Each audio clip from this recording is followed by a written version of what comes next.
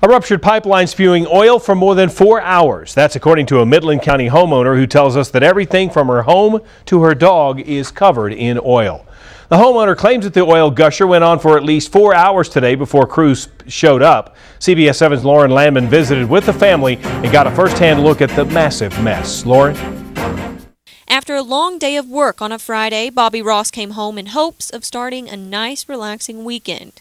However, that plan quickly fell through. It is on literally everything. Ross said when she came home from work, she began to smell the strong stench of oil.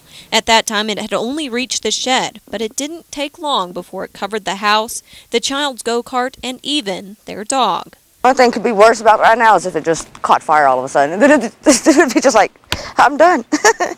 It took more than four hours for crews to get out here on the scene and get this oil leak under control. When we showed up, oil was just spewing out of the pipeline, going everywhere. It has literally covered everything on the grass, turning it all brown to the trees, completely covered in yellow, as well as this barn.